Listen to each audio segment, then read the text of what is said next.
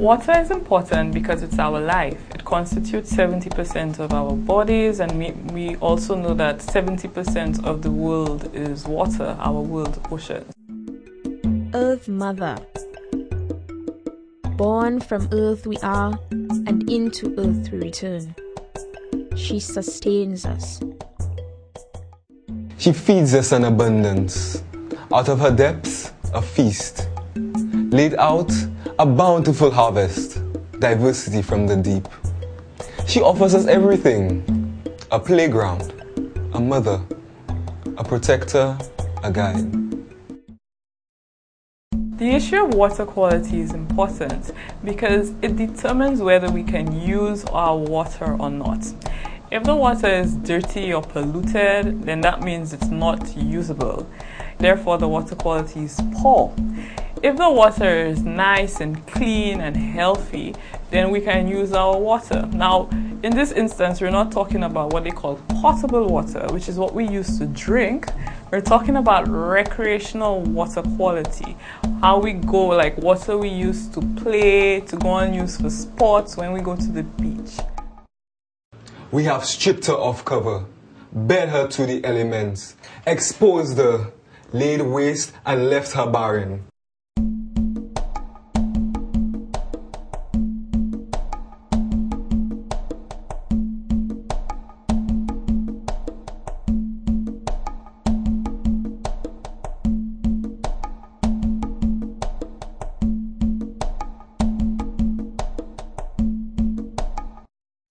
The soil is supposed to be on the land rather than in the river.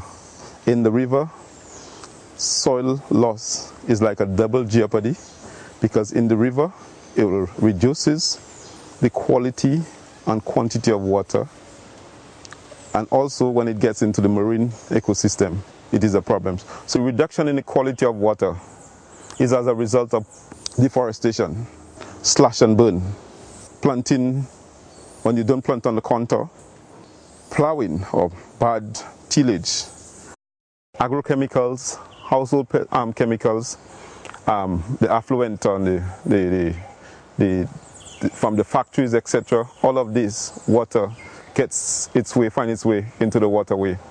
When you have also mechanization, soil mechanization, if you put tractor and you put a tractor, um, you'll have what is called a hard pan you will also have the tractor creating some lines that can cause further erosion, right? So all of these contribute to soil erosion. Leached poison into our veins, strangling life in rivers and suffocating reefs.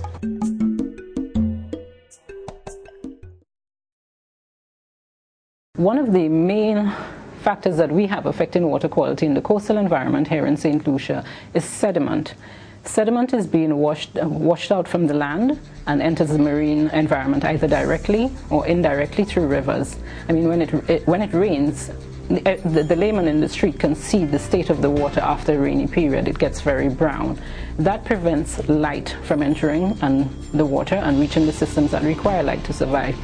It also creates like a blanket of dirt on coral reefs and seagrass beds, which require light and require oxygen to survive. So it would be like putting a blanket on a human being, a very thick blanket, you would not be able to breathe. So it has a similar effect. It suffocates the systems and the systems die.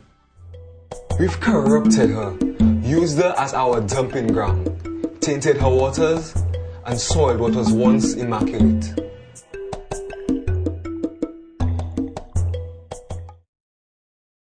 It is true to say that St. Lucia is a coastal island.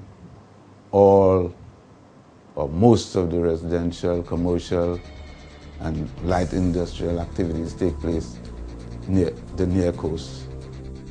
One of the problems we face, however, is that many of the properties, not only in Rosalie and Castries, but all liquid waste, are discharged into street drains and gullies and so on. However, all wastewater that is discharged from properties eventually finds its way to the coastal waters. Since the wastewater contains harmful organisms, disease-forming organisms, it is a potential risk to persons using the coastal waters, especially the nearshore waters. Corruption spreads, igniting disease and death. We will pay the fatal price for not caring, even for not knowing.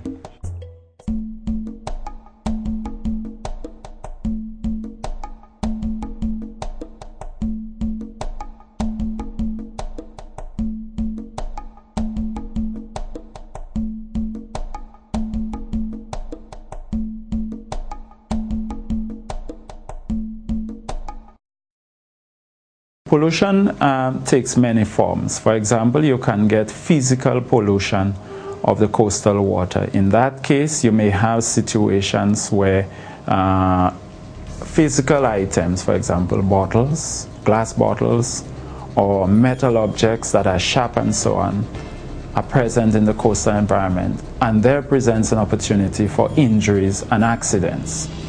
The more common means by which uh, such pollution can affect man is through the uh, transmission of diseases. Uh, there is a myth in our population that seawater does not carry germs. Nothing is further from the truth because the reality is that contaminated seawater can carry germs and do carry germs. We have a number of different types of organisms, largely what we call the coliform organisms that are associated with the gastrointestinal tract of man which uh, comprise pathogens and uh, they can in fact affect man and cause situations such as gastroenteritis,